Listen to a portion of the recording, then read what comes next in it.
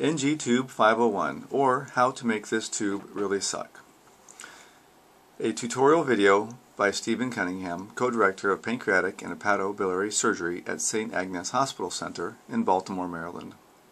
This is a diagram of a stomach with a nasogastric tube inserted.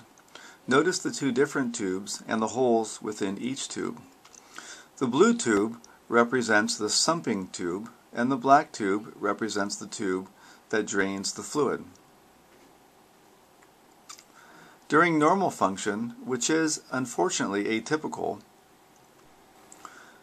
suction applied to the suction tube allows for gastric contents to be aspirated or suctioned from the stomach until the stomach is empty. When the stomach is empty, air may be aspirated in through the sumping port and back out the suction port.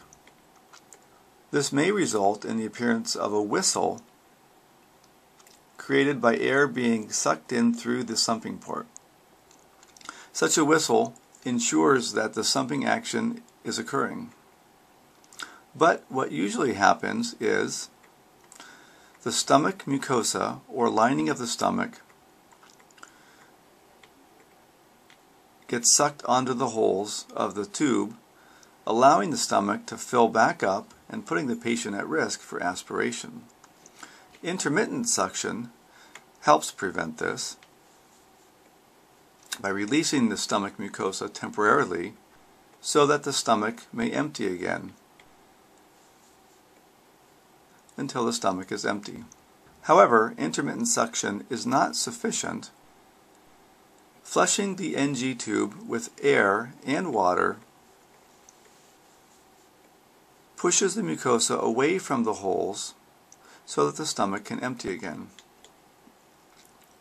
How do you know if the stomach is empty or full if you can't see the mucosa? In other words, if fluid stops coming out of the NG tube, is it because the stomach is empty, as we would like, or because the mucosa has plugged the holes? Option 1, an empty stomach, is of course our goal to prevent vomiting and aspiration in a patient whose stomach is not emptying on its own, either because of a gastric outlet obstruction or because of a small bowel obstruction. Option 2, of course, is bad and puts the patient at risk for vomiting and aspiration. The answer is in the air, namely, what happens when you inject it. Let's take a look at what happens when we inject air into the NG tube.